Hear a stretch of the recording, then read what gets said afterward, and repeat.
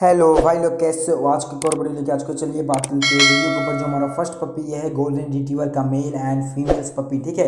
Location Delhi से जो owner ने प्राइस का डिमांड किया और डिमांड किया मेल का ट्वेंटी थाउज़ेंड और फीमेल का फिफ्टीन थाउज़ेंड ठीक है?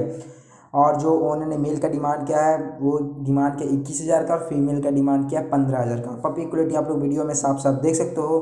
और रहा ओनर कॉन्टैक्ट नंबर का बात तो वो भी मैं आप लोग को स्क्रीन पर दे रहा हूँ। और मिलते हैं जल्दी नेक्स्ट वीडियो में, तब तक के लिए बाय